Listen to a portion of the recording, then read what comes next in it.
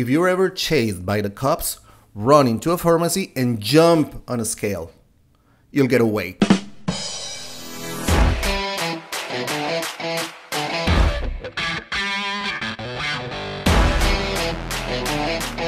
Ok, eh, bienvenidos a un video más eh, para aprender inglés con el humor. En este momento, en este video vamos a mirar este chistecito. Como lo vemos, el chiste empieza o abre con If you're ever chased by the cops, run into a pharmacy and jump on a scale. ¿Qué esto significa?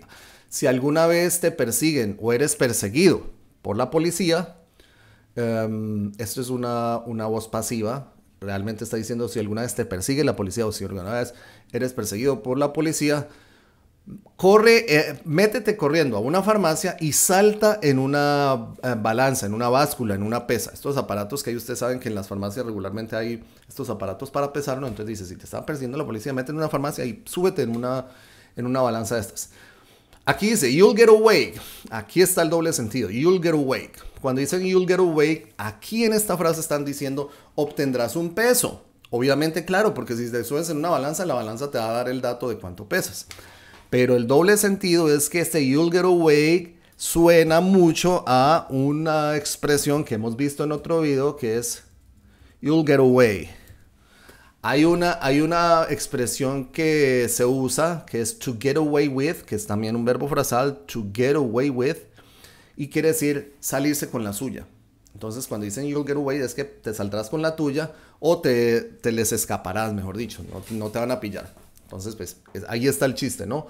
En este doble sentido. You'll get away, obtendrás un, peto, un peso, te darán el peso o you'll get away, le, te saldrás con la tuya. Así que un, chiste más, información para tener en cuenta, em, referencias culturales, palabras que suenan similares, dobles sentidos, etc. Recuerden, los dobles sentidos en inglés se llaman pun. La palabra es pun, se escribe P-U-N.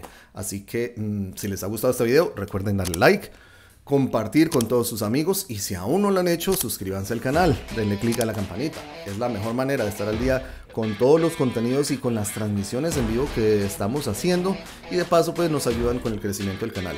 Para mí como siempre un placer compartir esos contenidos con ustedes y nos vemos en el próximo video de Aprendiendo Inglés eh, con Humor. Bye bye.